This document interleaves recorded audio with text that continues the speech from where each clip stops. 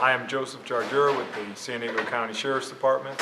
I took the one-week uh, class, and what I would recommend anybody that wants to learn how to actually be an instructor, uh, come and take Ray's class because you not only learn effective techniques, but you also learn how to teach them and how to be a good instructor.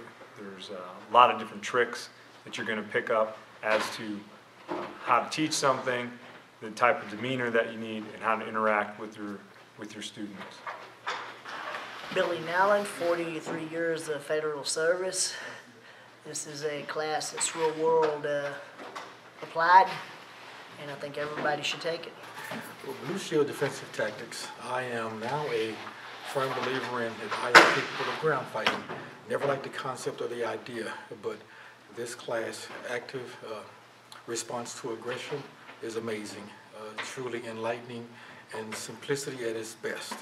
So for those who would say that you're too old to learn a new trick, this will definitely enlighten you and benefit you on and off duty.